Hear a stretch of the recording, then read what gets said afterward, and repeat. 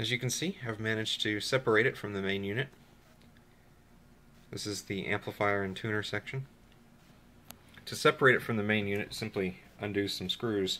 There's a screw there, a screw there, and a screw there on each side. And that will undo the main brackets from the main unit. And you don't have to deal with the hinges at all. And after you get the uh, bottom plastics off, you can access the front panel. That's held on with uh, a multitude of screws. Okay, onto the circuitry. You have a power transformer there. You have a rectification and filtering board. Nothing fancy going on here at all. It does need to be recapped. These seals have gotten hard and you can see they're starting to bulge on the end. That's bad for long-term reliability. If those fail, it could take out the power supply and ruin the unit. There's the FM-IF section, or intermediate frequency section. This is a super heterodyne radio. There's the FM and AM front end, and down in there, it's gonna gonna be hard to see. A little white device down there with three leads on it. I can get a good picture of it, I'm not sure if I can or not. It's in, it's in, in between those three resistors in that coil there. That's the FET and the uh, FM front end that they were bragging about on the front panel. It's probably the most advanced semiconductor in the entire unit. I can't really see what it is. 920 something.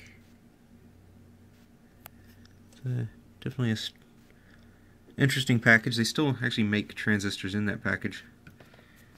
You have two AM gangs and three FM gangs on the variable capacitor and like all vari caps they move in and out like this to tune them.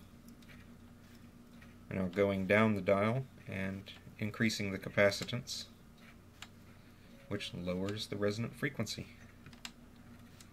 We're now at the lower end extreme of the dial and now we're going back up raising the frequency and lowering the capacitance. And this is what it looks like when you're at the top of the dial. There's the wafer switch for the input selector. What's interesting about this is the uh, contacts aren't freely floating out there. You can't see them. They're wedged in between another wafer that moves. There's still a big enough gap that you can get some deoxit in there, and how you clean them is pretty simple. Get your deoxit. Just get in there where the wafer is and spray a small quantity. Not much. So you just kind of want to bubble it down in there.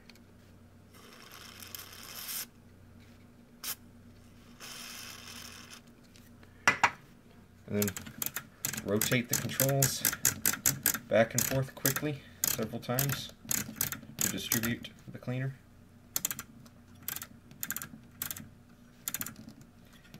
This one wasn't really dirty. It doesn't need to be three-step cleaned. I'm just doing this as a preventative measure. But that is how you run deoxit on a selector switch. I've shown this before, but uh, it is pretty popular, so I'll show it again. Uh, how you do it on a pot is pretty simple. The active element on the pot is actually on this little circuit board that's inside the pot, so you want to make sure you spray that area and not spray into the back. So to get into a pot, you just go and go to the other side.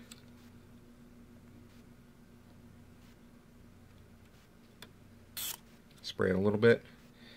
Note that this is a dual section pot, so we've got to spray the lower half. There it focuses, finally. And then once you get a shot in there, you just rotate the control back and forth You can see the wiper contacts in there. Make sure those are covered, make sure those are soaked in deoxit when they go past. Those are what are actually contacting the active area of the pot and making the connection and doing the adjustment for you. You can see the wipers move back and forth as I rotate the controls back and forth.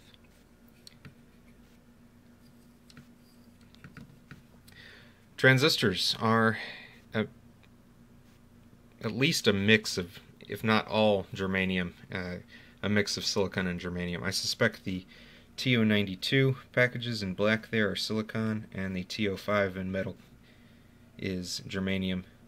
All the transistors over here on the output stage are germanium. They're 2SB 473, and I suspected uh, they were germanium because 2SB means PNP, and they're all PNP, so that should immediately tip you off that this is not silicon.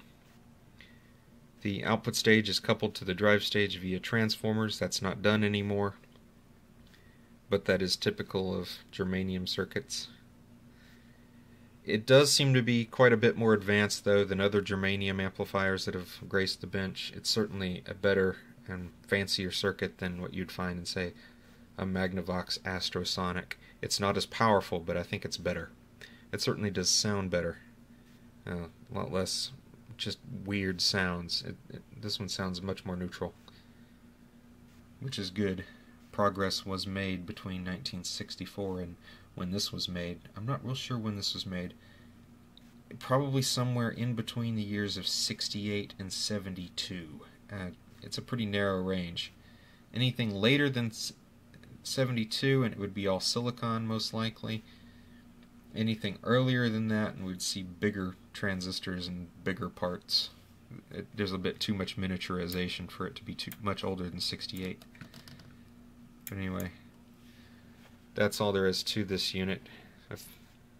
A, few boards and uh, a lot of open space if they'd had modern silicon, they could have definitely turned this into a powerhouse if they'd wanted to. Um, but I could put a nice big transformer there. Put some nice power boards down there, maybe some heat sinking. But the only heat sinking here is this little bracket leads to the chassis. And that's all it needs because it's not a powerful amplifier. It's only a few watts per channel, uh, which is enough for background music in most rooms. Uh, it does come with its own set of speakers. I do need to warn you again, don't put other speakers with this unit. It wants 16 ohm speakers.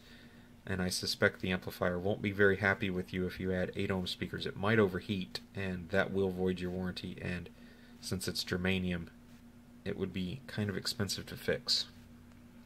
Might be able to adapt it to silicon, but ugh, let's not go there. Just use the proper speakers. Capacitors are in decent shape on these boards, at least it seems. Uh, if you want, I may consider recapping it if I can get enough caps. I'll have to see what values they are and see if I've got them in stock. If I end up recapping it, I'll give you guys a deal. I'll only charge 20 bucks to recap it. I'm already taking it apart for cleaning, and I had to get it apart this far just to get the front panel off to clean it, so there isn't a whole lot of labor involved in recapping it. Probably 30 to 45 minutes of actual service labor and maybe 10 to 15 dollars in parts so there's your chance to get a nice uh, cool looking conversation piece that won't uh, have any trouble at all you'll always be able to turn it on and go hey look at this uh, look at my cool vintage stereo here that said it is like I said it's not a critical listening room type piece. It's it's a more of a conversation piece. A, just a it's a novelty item. Um, that's one of the reasons it's inexpensive, and one of the reasons I'm telling everybody because I'm known for gear that's fairly high end, and this is not high end gear, but it's weird and wacky and cool. So it gets a chance to go through the shop, even though it is a multiplex unit, and I usually uh, do not repair multiplex units. I I usually do not like them, but I've taken a bit of a fondness to this one. Uh, it's got a nice, clean, simple circuit layout. It's well designed, and it's cool. So, anyway, I'm going to get to cleaning up the panels, which are the main offenders of this unit. to, just, they just look bad. Uh, I'm going to clean them up and then put it back together and check out uh, the possibility of recapping this unit. Okay that's about enough for this. I will see y'all in a bit.